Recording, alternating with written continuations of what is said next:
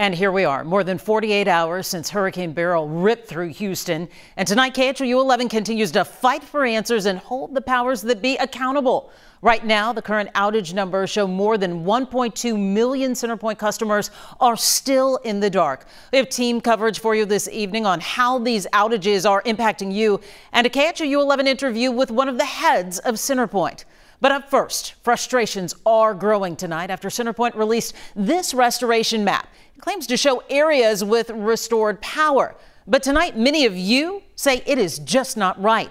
Thousands of you posting on our Facebook page saying the map is not accurate. Grace White is live near Bellaire with a closer look. Grace? Mia, this is getting really confusing for people. Here's the problem. We're on the edge of Bellaire. If you're on one street, people have power. But if you walk just down another block right here, people don't. But this whole neighborhood is green on Centerpoint's new map. It's been very hot and sweaty and you know, it's a little bit frustrating because everybody around us has power. Corey Burns is going on day three without power. Last night, they released this map that shows your neighborhood is is all green. So mm. the power should be on, but it's not. It Should, yeah, but it's not. And his calls to Centerpoint, well, they haven't gotten him very far. It seems like they got a little monopoly going on, and there's nobody else we can go to. We also met this mom on Woodlawn Place. It's been really hard. I have two little kids at home, so I think that they're just overheated and stressed out.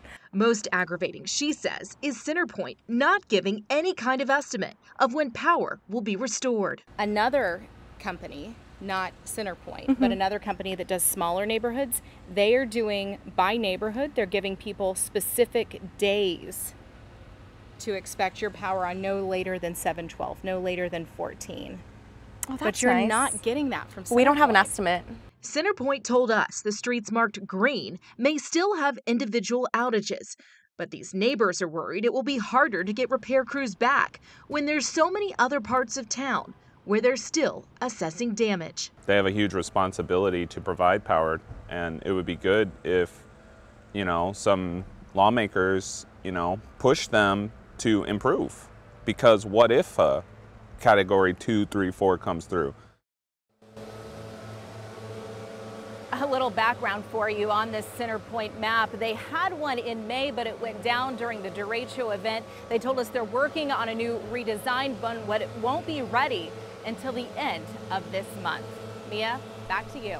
Hearing from those neighbors, so many of them very relatable to each and every one of us. Grace White tonight, thank you.